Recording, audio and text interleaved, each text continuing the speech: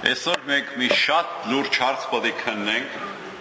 եւ մենք մեր կյանքերը պիտի անդրադառնանք այդ լրջության մեջ, Քրիստոսի ներկայության մեջ մենք ինչպես ենք ընթանում, ինչպես ենք ապրում այս կյանքը։ Օրինակ կարդում ենք, որ Աստվածածինը եկեղեցու տոնն է, որ Աստվածածինը վերափոխվեց երկինք Մենք անցյալ անգամ խոսեցինք, որ այս պատմությունը Աստվածաշնչում չկա։ Բայց եկեղեցին չէր կարող այս պատմությունը վավերացնել, եթե Աստվածաշնչում չլնեին նախադեպեր։ Մենք երկու նախադեպը, երրորդը Մովսեսը չենք քննի, բայց երկուսը կքննենք։ Մեկը Ենով քներ, չէ՞, մեկը Եղիան։ Եվ այս վերափոխման տոնի հիմնական իմաստը ինչը է Եթե Աստվածածինը վերափոխված կյանք չապրեր, չէր վերափոխվի։ Մենք բոլորս ծորի մեռած տեղից հարություն առնենք։ Եթե հարության կյանքը այսօր չենք ապրում, մենք հարություն չենք առնելու։ Եթե վերափոխման կյանքը մենք չունենք, բնավ չենք վերափոխվելու։ Այսօր կարդանք մի հատ իրար հետ շատ հետաքրքիր մի պատմություն։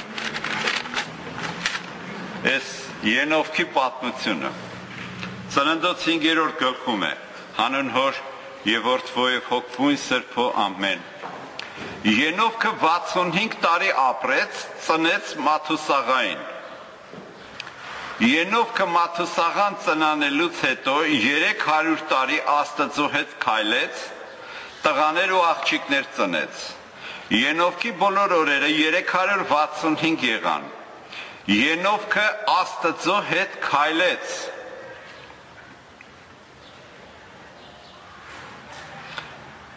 Եվ չէր գտնվում, որովհետև Աստված նրան վերցրել էր։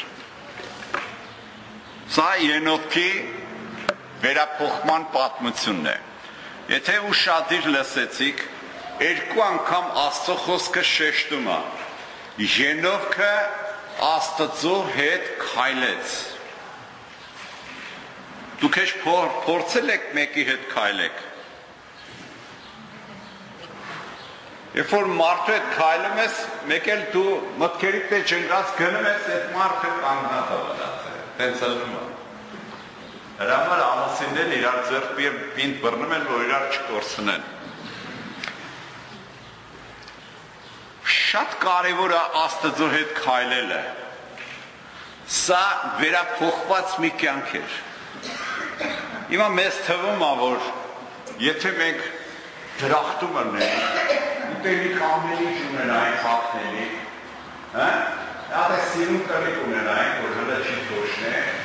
ամեն ինչ լավ կներ, բայց Ադամը հենց այդ բաները ուներ եւ ամեն ինչ այդքան էլ լավ չեղավ։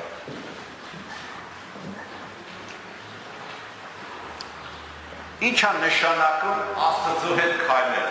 Նայ, ես գնում եմ։ Աստված կանգնել է, բայց ես գնում եմ։ Ուր ես գնում։ Բա դու Աստծո հետ էիր քայլում։ Ես չեմ ուզում ուրիշ բաներ ասեմ, բայց մի բան ուզում եմ ասել։ Երբեմն մենք շատ լավ հասկանում ենք ինչ ենք անում, երբեմն անփութորեն մեր կյանքի հիմնահարցերը Աստծո հետ չենք կարողանում լուծել։ Ինչ է նշանակում Աստծո հետ քայլել։ Սա նշանակում է Աստծո կամքով ընթանալ, նրա պատվիրաններով քայլել։ Բնականը ոչ մեկս չեք տարածակվենք մեր խելացի լավ կյանքից, կյանք ապրելով։ Մենք փրկվում ենք Հիսուս Քրիստոսի շնորհով, չէ՞։ Դեսի վիճելու բան չի, բարձր Բայց ինչա նշանակում Հենովքը 300 տարի ընթացավ Աստծո հետ։ 365 տարեկան ժայռմարդ է։ Եթե դու կարդաք, թե ինչքան է ինչքան էր ապրել Ադամը, հա, ինչքան էին ապրել մնացածը, 700, 800, 900, 930, 970, ինքը կես կեսն չի ապրել Եթե այսօր մեր կյանքի միջինը հավասար է 70 տարվա, չէ՞, Ենոքը 35 տարի ապրել, քիչ ապրել, ջահել է, 35 տարեկան։ Եվ բայց 300 տարի չի ձանձրացել Աստծո հետ ապրելը։ Ու պատկերացրեք, Տաթևացին ինչ ասում, գիտես, ասում է Ադամին ու Եվային ասում է, եթե 40 օր համբերեին, Աստված ասել էր զգտվեք։ Հետո ինչ է տանում։ Հետո կենաց ծառեր է թողել, որ Քրիստոս կա։ Անցյալը վեճ է, զանգեցին ասել, այդ ոնց է բանը, ասի երկրում են այն Հա, Եթե դու ծառը է, ծառի պատուհից պետք է Մենք ուտենք հասկանում ենք մենակ խժռել, որ ապրեն։ Բայց ուտելը կարող ուրիշ իմաստ է։ Օրինակ ամբողջությունը որ վերցնում ենք, մենք հոգեկան բավականություն ենք ստանում։ Ճիշտ է։ Եզից մեծ մասը նաև ֆիզիկական զորություն է ստանում, չէ՞։ Բայց հոգեկան բանը ուշա, որ գալիս է։ Ուրեմն շատ կարևոր է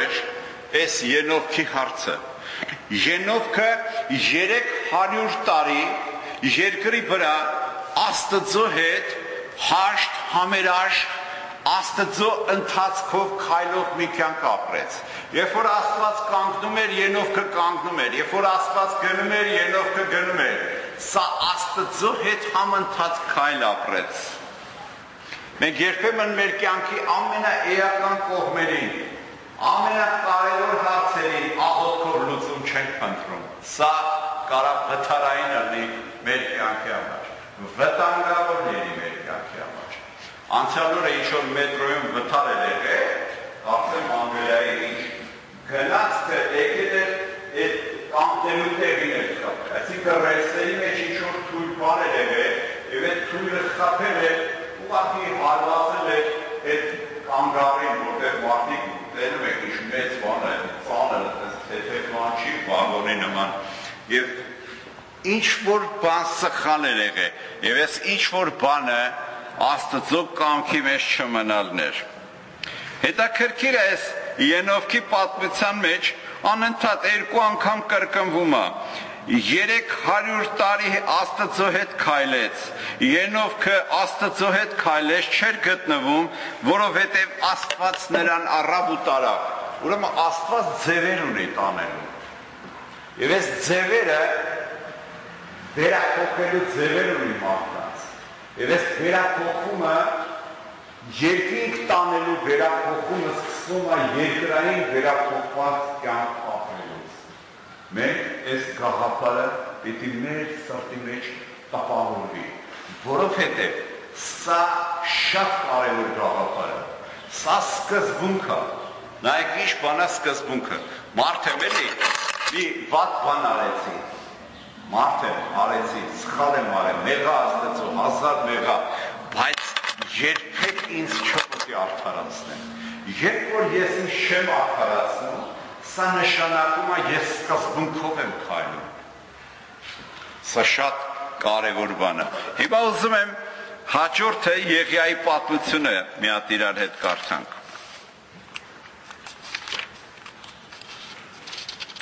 Եղիայի պատմությունը շատ հետաքրքիր է։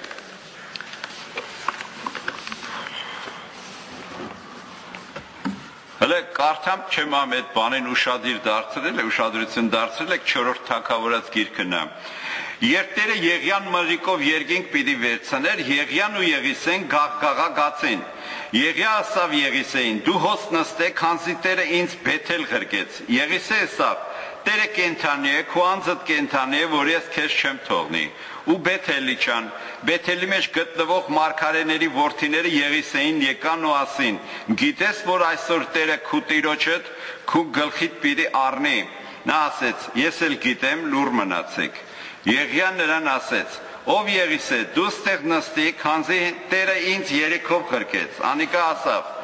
Տերը կենթանե, քո անձդ կենթանե, որ ես քեզ չեմ թողնի։ Երիքով գնացին։ Երիքոմի մեջ գտնվող մարգարեների ворթիները Եղիսեին մտեցան ու նրան ասին. Գիտես, որ այսօր Տերը քու Տերը Տիրոջը քո գլխից պիտի առնի։ Նա ասեց. Ես էլ գիտեմ, լուր մնացեք։ Եղյան նրան ասեց. «Դու այստեղ նստի, քանզի Տերը ինձ հորտանան բերկեց»։ Նա ասեց. «Տերը կենթանի է, քո անձդ կենթանի է, որ ես քեզ չեմ թողի»։ Երկուսով գնացին։ Մարգարեների ворթիներից 50 մարդ գնացին նրա հետ։ Հերու կանգնեցին, իսկ իրենցից երկուսը հորտանան մոտ կանգնեցին։ Ինչ եղը։ Ուրեմն այդ օրը այդ օրը Աստված էս մարդուն, էս Եղիային պիտի տանի երկինք։ Մարդիկ գիտեն, ինչ գիտեն, ինչ գիտեն, հայտնություն են ունեցել։ Աստված իրենց հայտնել է, հա, լսում ես։ Եվ հետաքրքիր է, որ ուրիշ քաղաք են գնում, ընդդերի մարգարեներն ասում են, գիտես ինչ եղել։ Այսօր, այսօր վաղը չէ։ Աստված քո ղեկավարին, քո տիրոջը, քո գլխից պետք է առնի տանի։ Ասма գիտեմ, Ինքը ինչ գիտե։ Եղիսենի իրան է հայտնել։ Բայց ողքի գյուղի մարգարեները 50 հոգի, դրանց ինչ գիտեն Դրանց էլ էր Աստված հայտնել։ Ուրեմն Աստված ծածուկ գախտի բան չի անում։ Եվ այս մարգարեները բոլորը գտնում էին։ Բա որ Եղիան չգնա երգիկ, ով գնա։ Լսում ես։ Ինչի համար, որտեղ սուրբ մաքուր մի կան։ Վերափոխված մի կան։ Հիմա կարդանք թե ոնց գնաց երգիկ, շատ հետաքրքիր է։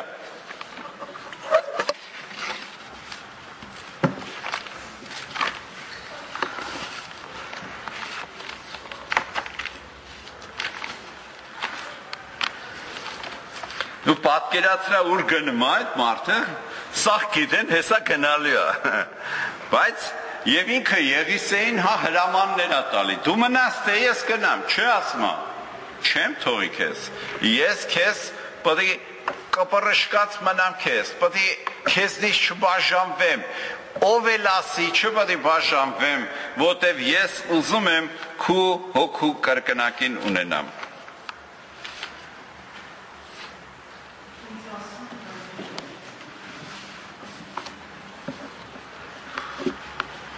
Երբ նրանք խոսելով գնում էին, ուրեմն այս տեսարանը դիտելու համար, թե աղոթքի համար, չգիտեմ, մարգարեներ 50 հոգի կան կանգնեցին հորտանանի այն մյուս կողմը։ Երբ նրանք խոսելով գնում էին, ահա հրեղեն մի կարգ, հրեղեն ձիեր երևացին, նրանց իրարից զատեցին Եղիան մրրիկով երգենք ելավ։ Եղիսեն տեսավ ու աղաղակեց. հայրիմ, հայրիմ, Իսրայելի կարգերը ու նրա ձիավորները։ Ուրեմն այս եղբարակցության քարոզիչներից մեկի կյանքն եմ կարդում։ Անունը Կարապետը։ Քարոզիչը շապնել, սպանել, հարուրներով սպանել, հարուրներով։ Ես առաջ իմանում եմ 5-6 հոգի են մահացել հարուրներով սպանել Ուրեմն էս երբ որ թուրքերը սրանց գալիս տեղահանում են, էս ընկերը սենց անում։ 40 ֆրանկ ունը։ Իմ հույսը սլսրա վրա է, ես պրծալի ամբողջովին աստծո վրա Հենց կանցն ես այս երկրի վրա, հա, կանցն ես։ Այդ կանցից վրա կենտրոնանում ինչ մատալ է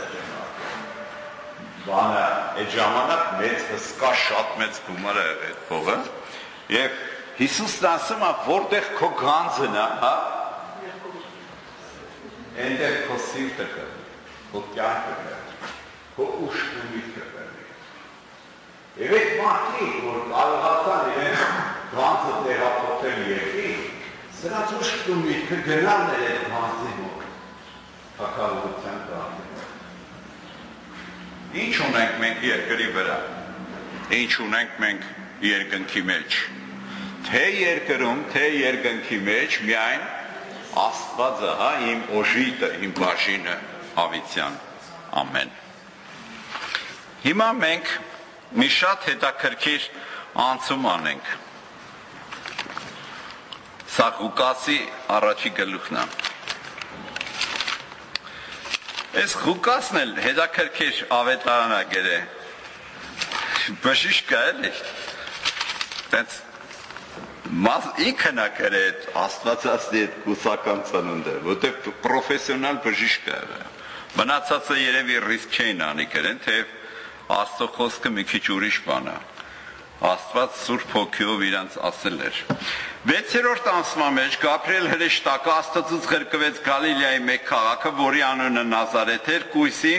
մարդումը նշանված, որի անունը Հովսեփ էր, Դավթի տնից։ Այն կույսի անունը Մարիամ էր։ Հրեշտակը նրա մոտ գնալով ասեց. «Ողջույն քեզով շնորհընկալ կույս, Տերը քեզ հետ է, դու կանանց մեջ օրհնյալ ես»։ Մարիամը նրան տեսնելով նրա խոսքի վրա շփոթվեց։ Ինքն իրեն կմտածեր, թե ինչպես բան պիտի լինի այս ողջունը։ Հայ եկեղեցին եւ ավելի շատ կաթողիկ եկեղեցին այս միշտ արտասանում են, չէ՞, այս աղոթքը։ Ինչ են ասում, գիտես։ Այստեղ ինչքան կանայք եղբայրներ կան, բոլորս մենք Աստծո աղախինն ենք, չէ՞։ Ասում են դու մարդ, դու շնոր ընկալող մարդ ես։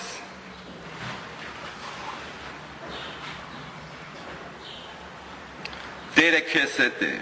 դու կանանց մեջ օրհնյալ ես։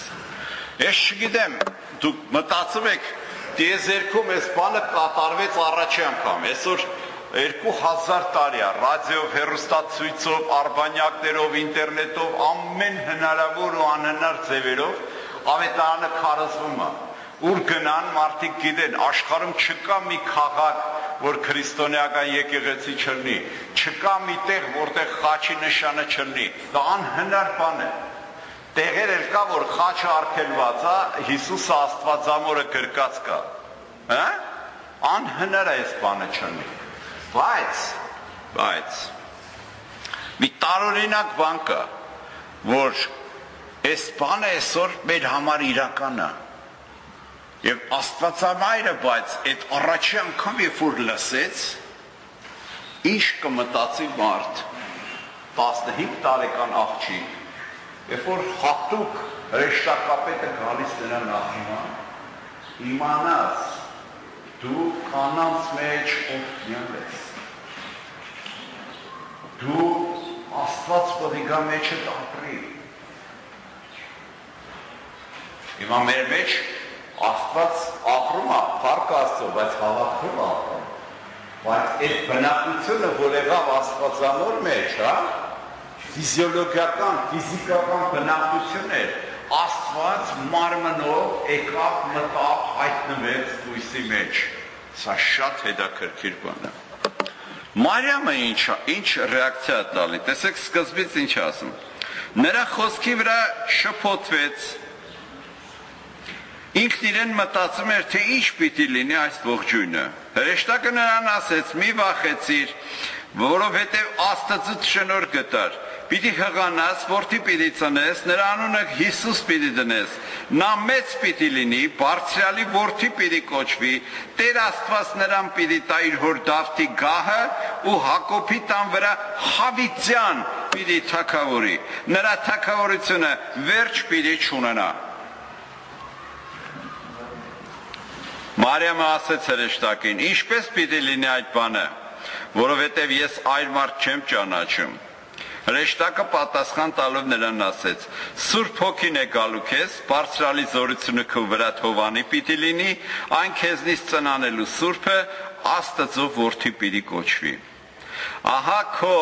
Ասկականդ Եղիսաբեթն այլ իր պարավության ատենը արու զավակով հղի է, սա այն ամուլսվածի 6-րդ ամիսն է, որտեվ Աստծո մոտ անհնար բան չկա։ Մարիամը ասեց. «Ահա ես Տիրոջ աղախինն եմ, քու ասացիդ պես թող լինի ինձ»։ Հրեշտակը նրա մոտից գնաց։ Ինչ ուխ տարեց Մարիամը, եւ այսօր դի տեսնենք, որ միշտ այդ ուխտին հավատարիմ մնաց։ Ասեց. «Ես Տիրոջ աղախինն եմ»։ Եթե վերափոխես, էսի սա է որ առաքյալներն էին ասում Հիսուսին. Իմ Տեր ու իմ Աստված։ Այսինքն Տեր ունեն, այդ Տերը ինչ ասի կլսեն։ Ինչ էին անում թակավորները, երբ որ իրանց ծառաները իրանց ասածը չէին անում, ով հիշում։ Ինչ էին անում թակավորները։ Հա՞։ Երկու Ասեն ես այսօր ինչ չի լսում, կարող է ուրիշի լսի, թե լասի գնա նրա սպանի, չարբան ասի։ Իսկ ինչ էին անում թակավորները, երբ որ իրա ծառային մի բան չէր ասում, անում էր։ Նույնը։ Ասեն ես ինչ ծառայում եմ։ Ես քեզ բան չեմ ասել, ես անում։ Բայց այս չանելու մեջ մի լավ անել կար։ Հիշում եք ինչ արեց Ռեբեկայի մոտ գնացող այդ Եղիազարը, հա? Ասում է, եթե ես ես աղջիկը որ գա, մի աղջիկ գա ջուր տանելու, ով է չգիտի։ Նշան դերեք անցվերի։ Ասում է, եթե մի աղջիկ գա ջուր տանելու, ես իրան ասելու եմ, աղջիկ ջան, ծարավ եմ, ինչ ջուր կտաս խմեմ։ Եթե նրա ֆայլը, հա, ֆայլը, դա ֆայլը, նրա գաղափարը նենց աշխատի, որ ասեմ, եթե ես մարդը ծարավը, ուրեմն իր հետևողներն են ծառա, ուխտերն են ծառա, հա? Եվ ինքը ջուրը առնի ու դրանց տա։ Պետք թողալնի իրոջ նշանակը։ Ուրեմն նշանների խեր, առածս նշանակը, հատված է տանիչաս, վահրատես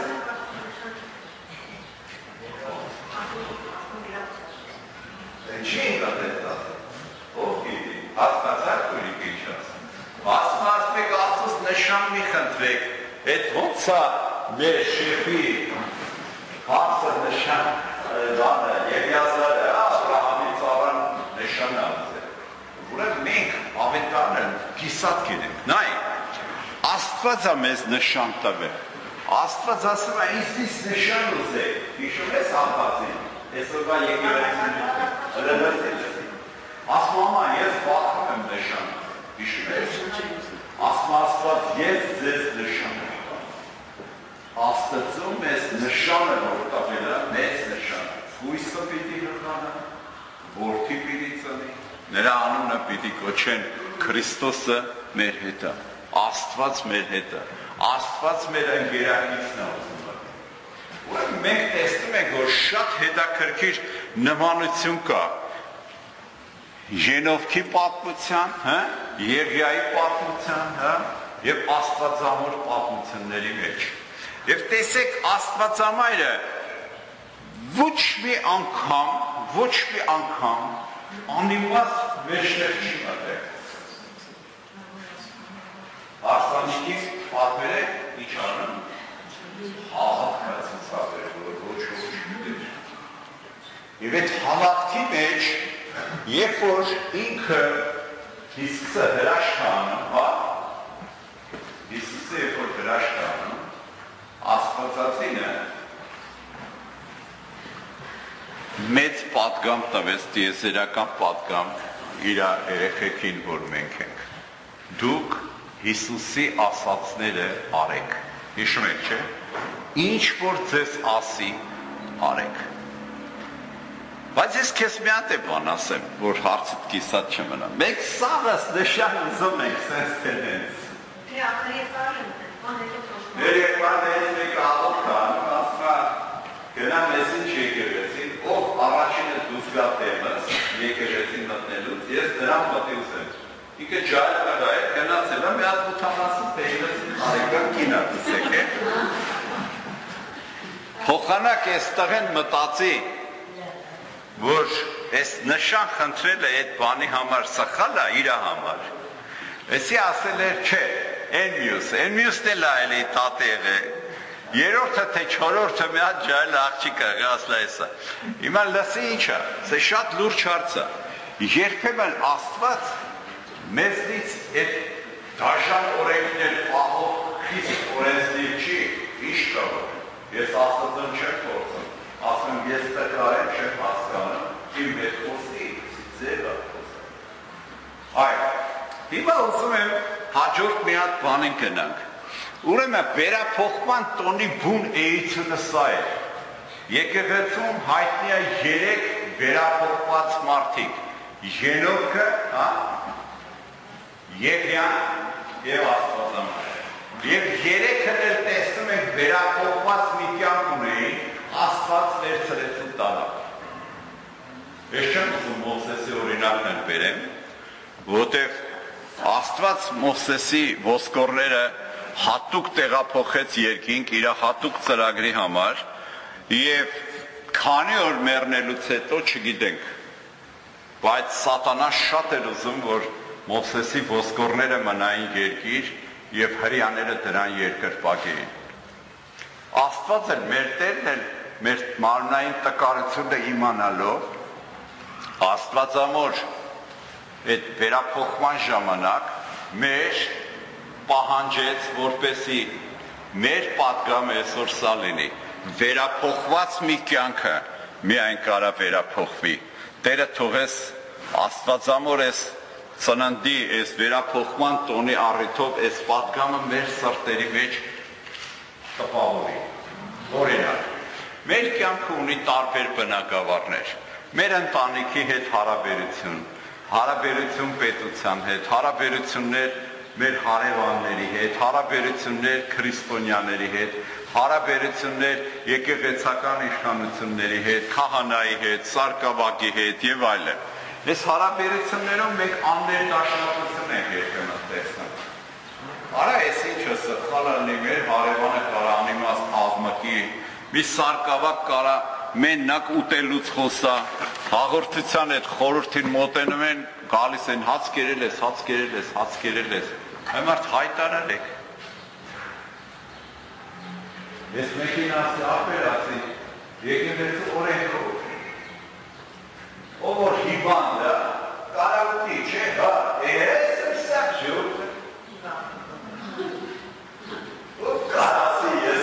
ասով չեմ։ Պատմեցի ձեզ, մեր են Մասիսի համուր մի հատ կնոջ ընկերոջ հետ վերցնում են մի հատ կնոջ անկողնային այդ ինը, այդ կնոջը տանում են բժշկի մոտ, հա, որ այդ բժիշկը տենա, այս ինչ հիվանդ է, այս բժիշկն ասում է, արի քեզ է Ուրեմն այդ հիվանդ ծանր պարտած հիվանդի վրա 5 հատ հիվանդություն են գտնում, մեր համոյի վրա 12։ Որտե կգան է ծալը։ Այսինքն այսօր շատ դժվար է այս հարցերը լուծել։ Օրինակ ես այս հիվանդության մասին մի բան էլ հիշացնեմ, ուրեմն եկեղեցու, եկեղեցու օրենքների մեջ նա հետաքրքիր Եթե քրիստոնյան 3 օր հիվանդ է մնացել, էսի սա ասել են չմող բան։ Շտապ կանային կանչել։ 3 օր էս մարդը չի սա չմող բան է, 3 օր հիվանդ։ Եվ բանը սա զարմացել են, այ մարդ ասել են, էս ինչ քրիստոնյա 3 օր հիվանդ մնաց։ Տեսեք ինչ մարդու ուխը ինչ ծերի է մարդկանց մտածողությունը այսօր ամենամեր մեջի առաջ մարդը 3-4 միլիոն կվադրատի չէ ոչ ոք չի ստացվում դա իրեք կամ չէ բայց հարցը էցը զենտա որ տեսեք ինչ կատաստրոֆիկ մտածողություն է ասել են հանգած որ դուք երեք օր հիվանդ մնան որը չլնող բանը դուք շտապ հարևան, բարեկամ կանչեք, աղոթեք, քահանային կանչեք, թող հաղորդություն տա, որտեղ դա կատաստրոֆիկ վիճակ է։ Տեսեք, ինչքան է փոխվել այսօր մեր հասարակությունը եւ մեր ընկալումները։ Բայց Աստծո ուզածը ինչը որ մենք Աստվածավոր նման այդ ուխտը որ անենք, որ Տեր Աստված, ես քո աղախինն եմ, այդ ուխտի մեջ մնանք։ Այդ ուխտի մեջ համատարի մնանք Մեզ բան չի ասել չանենք։ Մեզ ինչ ասել է այդ անենք։ Եվ Աստծո բարեհաճությունը սա կբերի մեզ մի վերափոխված կյանքի, նորոգվող կյանքի, փառահեղ կյանքի, աստվածային կյանքի մեր մեջ եւ Աստված մեր մեջ մեր միջոցով կփառավորվի։ Տերը թող ամենքից օրհնի։ Ամեն։